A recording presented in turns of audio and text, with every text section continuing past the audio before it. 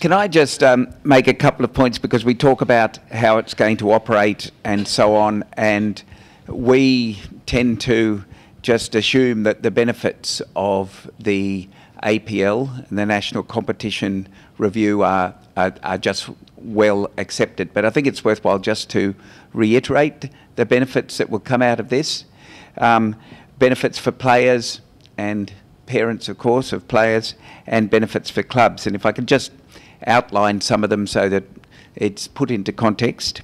Um, the, the criteria that are, uh, will be applied will provide for players, for the talented players, better coaching and a better youth development system in the clubs in which they're, they're uh, going to. So it's expected that the talented players will uh, be in um, APL clubs and uh, benefit from the stronger youth development and coaching systems that are there. Um, they'll also benefit from the continuity of being able to be in a club from the uh, the time that they begin their serious football career at age 13 all the way up to seniors. Uh, that's uh, a benefit that's not obvious, uh, but it, it, it, a, a, player won't feel the need to be moving clubs um, as he develops through his football career. Um, the criteria also will produce more transparency um, uh, from the clubs about fees in particular, and the uh, criteria such as the players uh, player point system uh, is designed to uh, make it less likely that clubs will pay significant amounts to senior players for which the junior players, players now end up paying. So there's significant financial benefits for the individuals uh, concerned. Um, the criteria also will require, as you heard, that the clubs have got strong governance systems to the benefit of their players. And it'll provide quality competition for the players. Uh, these things are maybe obvious, but I think they're worth stating. For the clubs to be part of the APL, the Australian Premier League, there's significant benefit. First of all, there will be a consistent brand across Australia, and we, uh, FFA, will be doing a lot to promote that brand quite actively and uh, quite high profile, so that the Australian Premier League will be known throughout the country as being uh, the uh, the league that it is underneath the A League, where uh, talented players and top class competition is available and played. Um, eventually, we expect that there will be some commercial advantages from a consistent common brand across the whole country. Um, it won't happen uh, in the first year, uh, but we expect that it'll be commercially uh, attractive for uh, uh, um, corporates to be associated with the Australian Premier League. Um, it's important that clubs will be recognised as being part of the talented player pathway that will attract the talented players to those clubs and uh, the kudos that attaches to a club that's known as as being an accredited APL club uh, is something that I think clubs will be happy about. There's quite some significant other um, advantages um, for the teams from uh, APL clubs. First of all, in the FFA Cup, uh, the um, the APL clubs will come into the FFA Cup at a later part of the um, of the FFA Cup.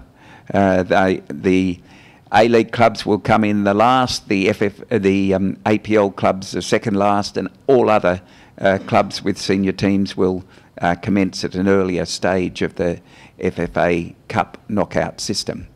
And the other thing that is being discussed amongst um, uh, Football Queensland and the other member federations uh, that they're quite keen on is for there to be a Champions League uh, competition at the end of each season between the top APL clubs from each state. Uh, so there'll be an Australian Champions League out of the state APL clubs.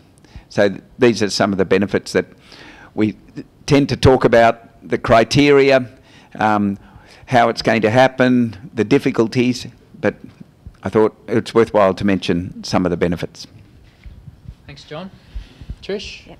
Um, just a question about the training compensation scheme. I don't know if you can um, tell me, but you were saying that the board of FFA is going to um, look at it over the next few days. Monday, I think. Tuesday, Uh, Monday. And then will there be, do you think, an announcement and um, any sort of document where we can look at what um, the training compensation will entail? Um, just for two reasons. I mean, it's a very good idea, but also I'm personally interested in um, if there's compensation for the girls that go through the APL clubs uh, as well, or is it just at this stage compensation for the boys that go through the APL clubs?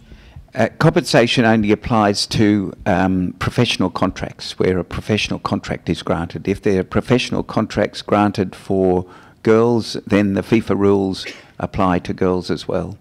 Oh, Uh, I thought the diagram showed that there's some compensation when those players have, um, then go into national uh, training uh, programs. No, no. What happened, what that is about is that previously, say a player went overseas and attracted training compensation, some of that training compensation was going to the NTC or the AIS. So they were being treated like clubs and getting money, um, being recognised as having developed the player who then went overseas. That's stopping. The QAS will no longer receive training compensation. It'll go to the accredited clubs instead.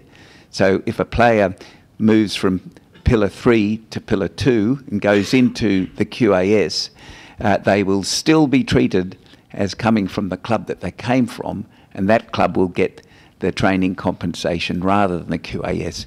There's no training compensation paid by the QAS um, or the AIS. Uh, it's it's um, when somebody goes on a professional contract that training compensation uh, develops. So, is um, are there professional contra- contracts in the W League?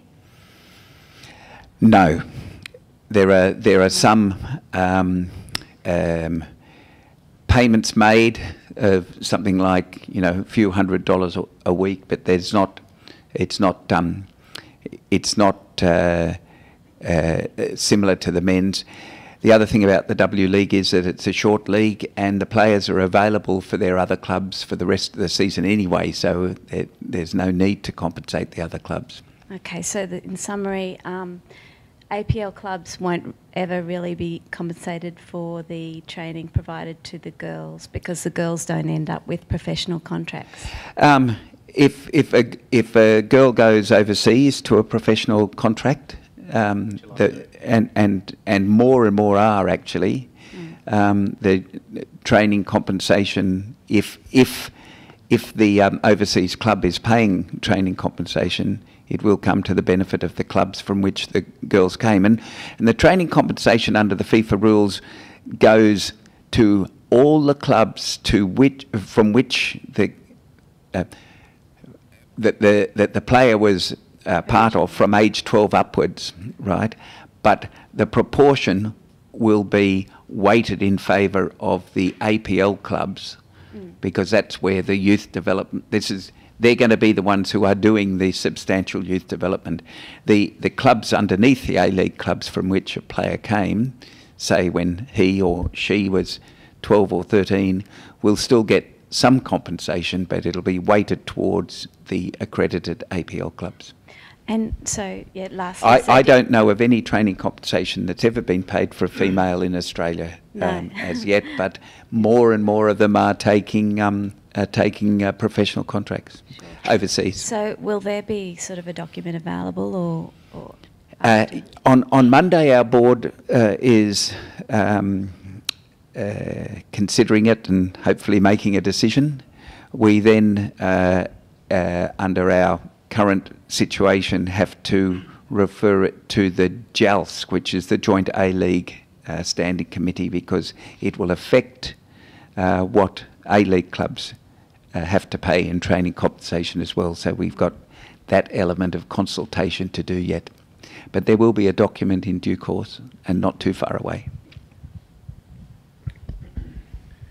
Brian? Yeah.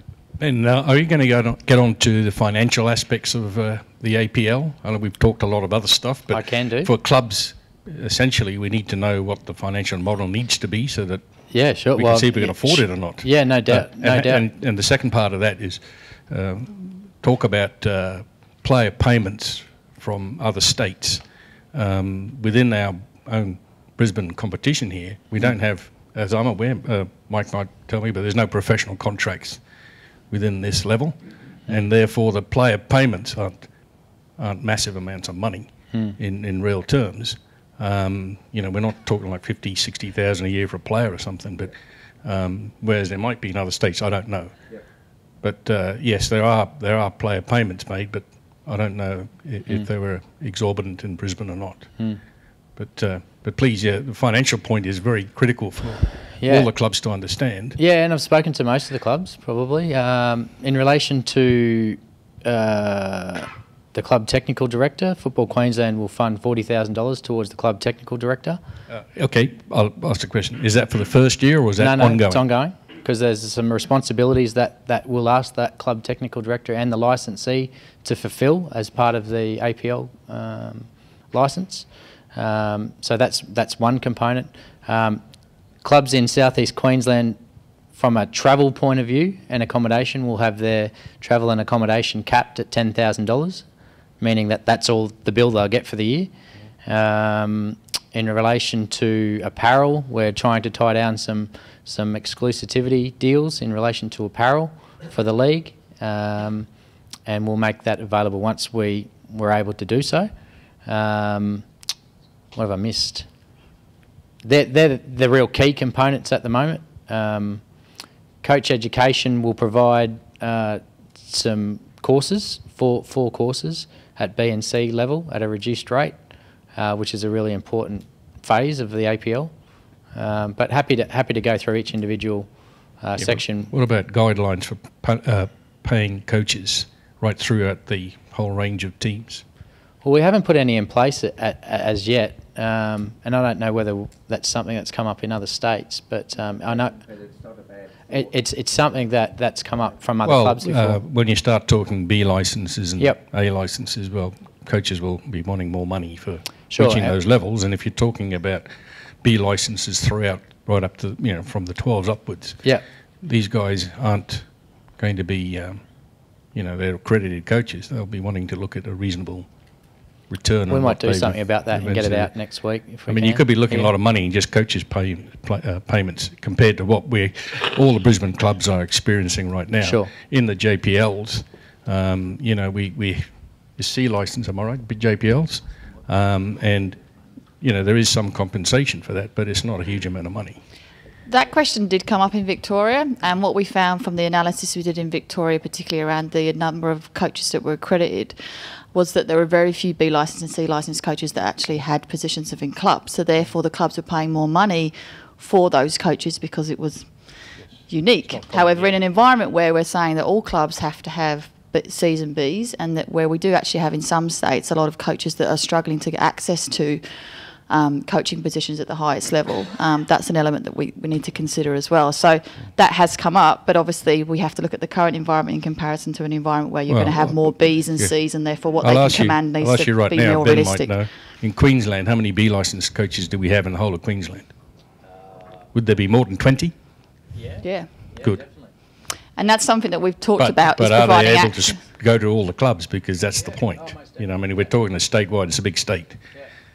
Yeah, the the present the spreadsheet I've seen is uh, yeah B and C coaches. There's there's plenty in Queensland. You could probably do some additional analysis which actually looks at where those coaches are Yeah, well, that's- located. That's I what I'm think getting at, because if, if you're talking about five teams in Brisbane alone, and you're talking about at least two of those coaches being B licensed, you know, your, your DOC and your, and your top team coach, well, that's Uh, Yeah. 10 coaches they're required straight away in Brisbane. If you've got more than, say, just 20 in the state, and you've got them spread around, you've got to move people from Cairns down here, they're going to be wanting money. They're not going to move 2,000 kilometres for nothing. But I think the approach should be twofold. One is that we actually look at the current coaches that are qualified and, and try to target those coaches to, to come into APL teams. But the other element is that you do have coaches that are within your club setup um, that you would like to continue to engage with. Then, then obviously looking at the strategies around holding Bs and Cs to ensure that those current coaches can access those courses. So there's really a kind of twofold approach that's been taken in most states around that. Yeah, but you see, not all the clubs in Brisbane have those. Uh, you know, I mean, we're quite a the Brisbane club scenario is quite diverse in its in its uh, entities. There's some clubs that are quite quite uh, play high quite quality football, but their facilities and their backing isn't that, that great financially. And there's other clubs that have got a bit more uh, facilities and better financials that that attract some other coaches. So I mean, it's a spread of what we have here in Brisbane. We're But equally, we can target coaches that are currently in the setup to attend courses and look at providing incentives around discounts around that as well. Ad- Additionally, internally, you know, we talk about this, Dave, all the time about our BNC uh, licensed coaches, and you know, in the last three or four months, there's been probably 10 or 15 coaches that are looking for jobs within APL clubs that have contacted us that are BNC licensed, um, wondering when the license or when, when the licensees are coming out. So, um, so there's plenty of plenty of people that want to get into Yeah, the but yeah, I agree with you there, and that's that's a very good setup. But again, the financial side needs to be look targeted because And, if somebody and in wants to relation to that, um, the coaching courses are quite expensive at the moment. they are. And that's because the coaching courses are primarily directed towards people who want to be full-time professional coaches. We recognise that in the APL, um, especially at the younger ages, many of the coaches will be part-time or, or voluntary. So that's why the cost of doing the courses for APL clubs will be substantially reduced. I'm not talking about a 10 or 15% discount. We're talking about more like uh, half cost, and we'd be encouraging clubs to also contribute towards the cost of their coaches being. Um, the ideal scenario would be that FFA would pay half the cost of the coaching course, the club a quarter, and the and the coach himself a quarter, and that will reduce it substantially because we recognise the guys who will come, who you've currently got, are not full-time coaches, and it's not, for example, tax deductible for them. But that also lends itself to uh, uh, when where the courses are held. I, I believe there's a B license course coming up in Brisbane in January. Uh, that's probably the only one that I'm aware of in, in local terms. Most of them might be down in Sydney or something. They up until now, um, up until two years ago, you had to go to Sydney or Canberra for all the courses. We've decentralised the C licence courses, and this year we've been decentralising the B licence courses so they can be held where the coaches are, and coaches not having to travel to go to them. Um, coaching education is such a vital part of it. We've got to we've got to make it more accessible. With respect to you said that there's going to be a end of year competition or an, like an Champions FF League style. well an FFA type club competition. Mm. Will the A League clubs be limited to two visa players as against the five that they currently have? So it's an even playing field. For the Champions League? No, no, for the FFA Cup. Yeah, for the FA FFA Cup. So, are you wanting to use the state leagues as a fodder for the A League, or is it going to be an even playing field? I think Man U field their full team against Scunthorpe in the Yeah, yeah.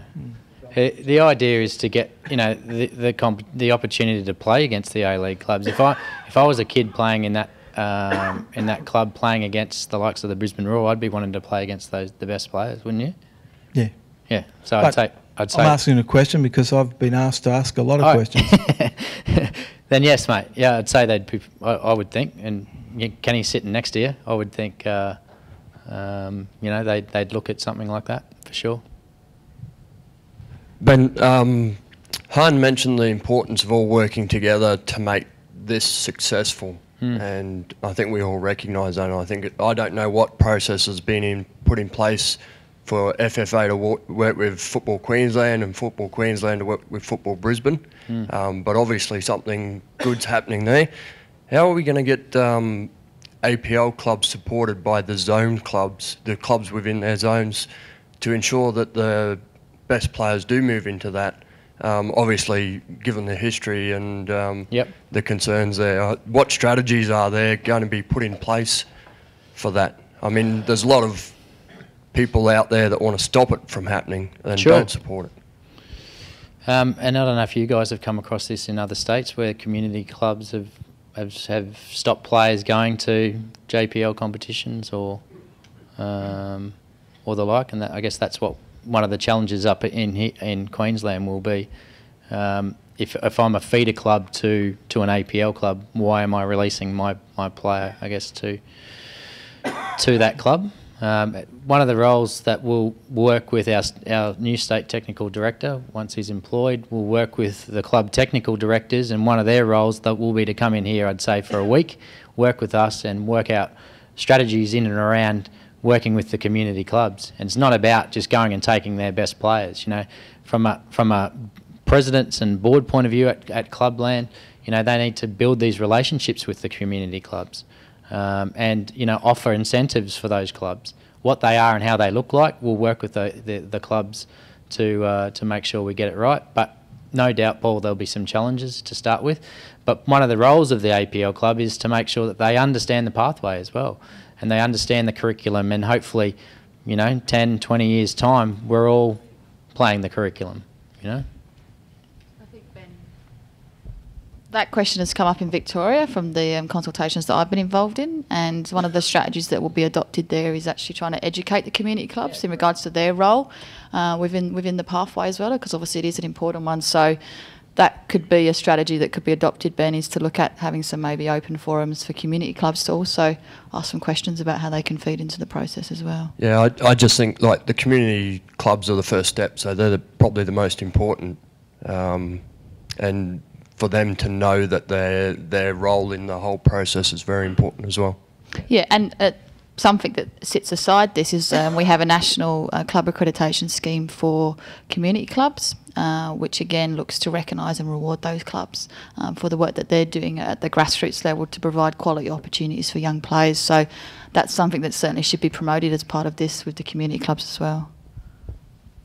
And I think we just need to keep our communication going, Paul, with this. You know, like you were there last night and uh, you saw 160 odd parents hear what we had to say, and a lot of them hadn't heard it before. Um, equally, we've got a responsibility in Clubland to make sure we're pushing the message as well. So, um, you know, there's key key people out in Clubland, our club technical directors, our, our boards, uh, making sure that they they're talking to to their neighbours as well. So the feeder clubs underneath them. Just want to pass it over to Pete.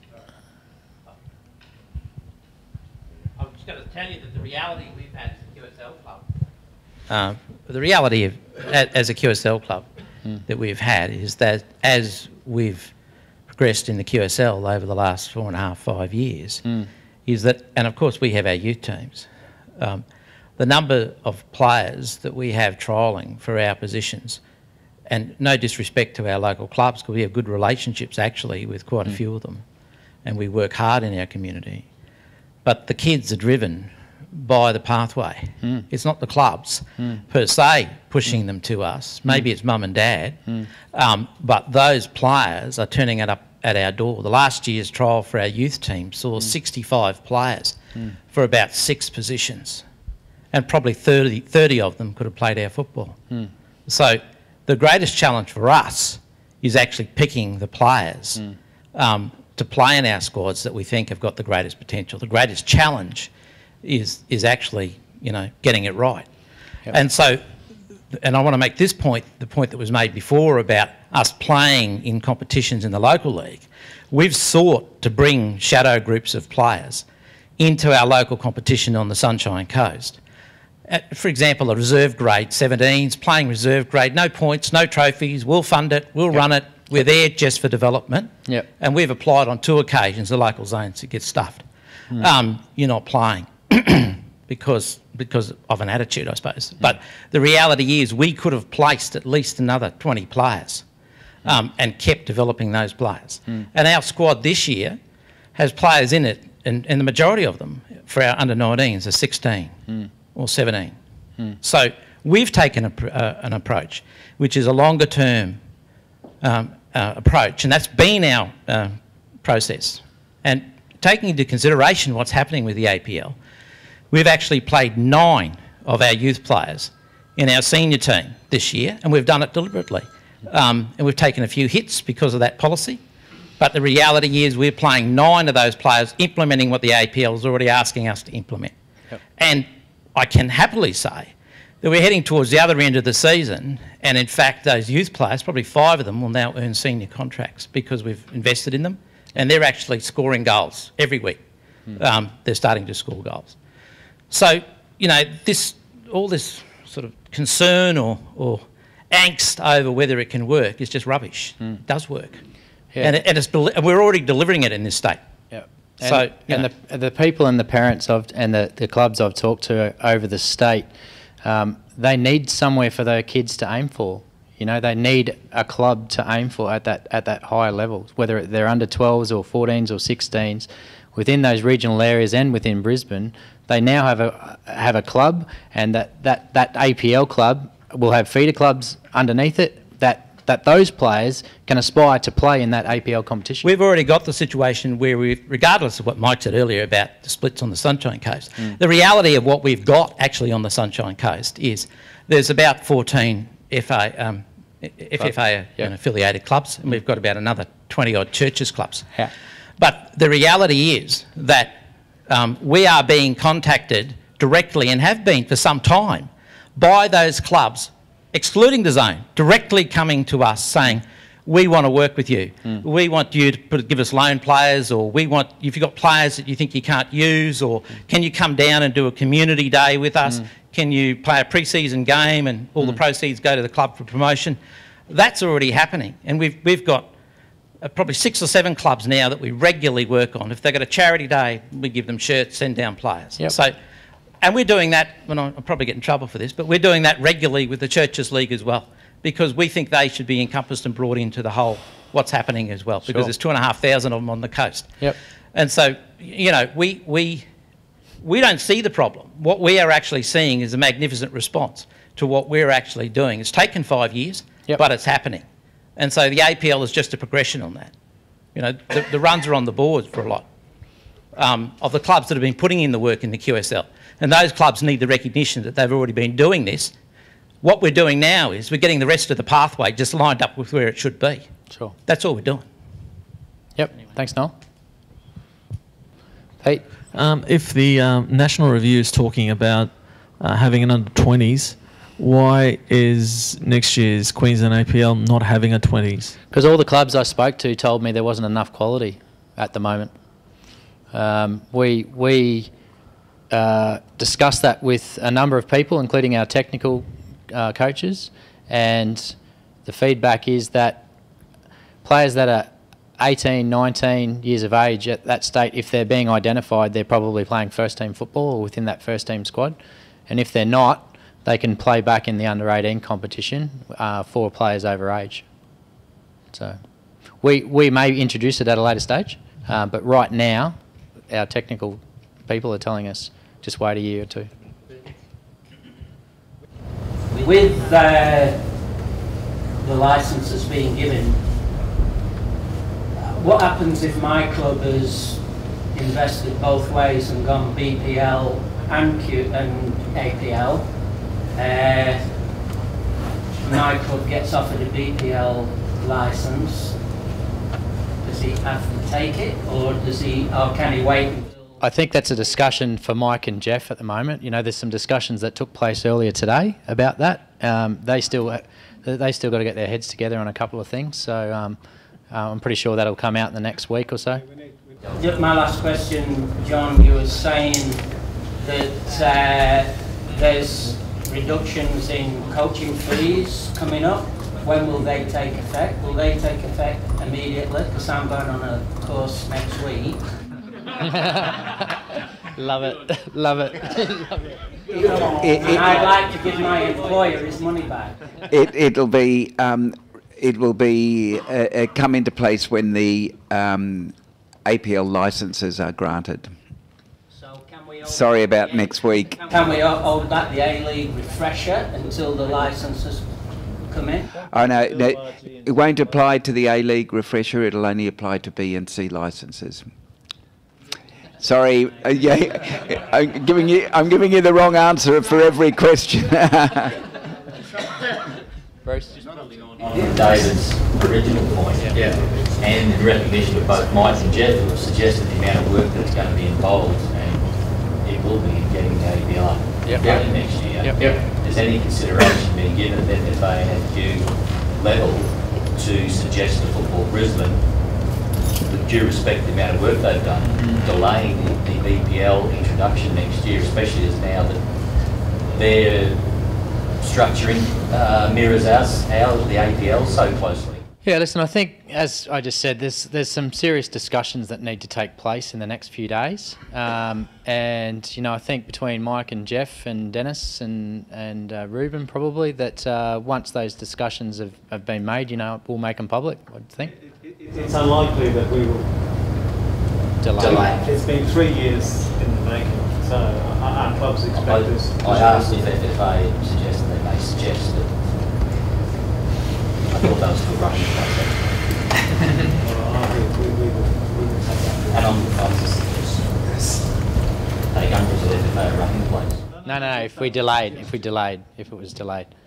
Um, yeah, but you've got, if both structures, if APL and BPL are being announced in the same period, and the football Brisbane structure is 12s to 18s plus opens, and same with the APL, Yep. um, aren't we just creating confusion out there in the marketplace, which No, I would have thought that everyone would have picked it up by now, Bruce. But um, well, I would I would think so. The parents did last night. Um, clubs have t- I've explained it to clubs. Uh, you know, there's no one that has has said other otherwise, um, unless you can tell me. Oh no, there's, there's been obviously a lot of misinformation for a lot of time. Yeah, I think there has. You know, I, you know, I've I've learnt that especially over the last 16 weeks. Oh, no, we, we, we've said consistently to clubs, every club in Brisbane should put an expression of interest in, every club in Brisbane should look at the APL and should make a decision that they believe to be in the best interest of their members and their players. And if, if that means they elect to go to the APL, that they will go with that blessing. Uh, they'll be welcome to participate in, in, in as many Brisbane competitions as they're eligible for. There'll still be uh, Brisbane football clubs, even though their, their top stars might not be playing their own competition. Um, but there, there's been no misinformation or disinformation uh, from Football Brisbane. Our only concern has been with some of the peripherals, what's happening to RDOs, because we put a great deal of uh, uh, money uh, into, for example, coach development. Uh, we uh, subsidise the SAP program so it can run in Brisbane. Uh, we run coaching conferences. We have 500 players, young players every Sunday in our development programs. We offer free coaching courses to clubs. Uh, we just want to budget and plan for next year. So it's those peripheries that we're concerned what's happening to the RDOs so we can plan. But No, we- apart that, that's all we want to do, Mike, and I, there's been a lot of misinformation out there that Not must from, have come from not from. Football Brisbane. Not from Football Well, we should be clear now where it's where it's at. Elite player pathway, we know where that is. That is. Um, APL, we know where that is. Hopefully. Yeah, um, there's been a lot of talk tonight, and uh, it's nice to see all sides pull together. Um, there's lots of issues to work through, and it will take a little bit of time. What I would like to ask is, there's going to be parents that are going to have questions, there's going to be kids have questions, hmm. there's going to be coaches, there's going to be clubs, etc. Hmm. And then you've got Mike and Jeff who are working through issues as well. So it's good everybody's going in the one direction, but over the next maybe three to five years, is there going to be like a committee in Queensland that are going to help to provide support? Because that's going to have to be ongoing for a little while until the hmm. dust settles and everybody is pushing the one way. There's been some discussion about a working group uh, put together, and as far as Football Queensland's concerned, you know, we'll, we're happy to have a discussion about that. Um, but once again, this is all sort of breaking news, Kenny, this week. So, um, you know, we'll we'll go away from here and and put our heads together and see if we can come up with some solutions. And hopefully for the football in Queensland, we can come up with a solution that's beneficial to, to kids because that's what we're, we're trying to set up with the APL. So, um, you know, we had a, a, great forum last night with uh, a lot of the JPL parents and, and, and, and kids here um, and a number of other clubs that came. Um, and, you know, their, their, their, their understanding of I guess the national curriculum and the philosophy behind the APL is uh, is great. You know, they think it's a step forward. So, well, I think the intent of everybody here is going in the right direction.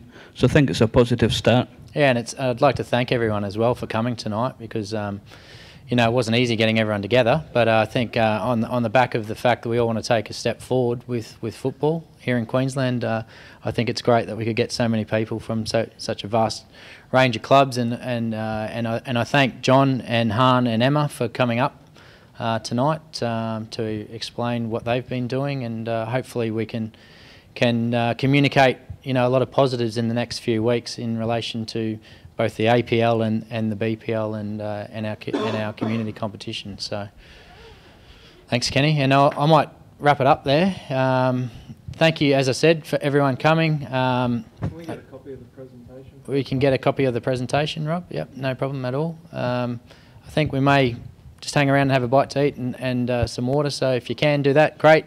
If not, then I haven't got any red wine, Mike, but uh, I'm sure someone has. So thanks once again.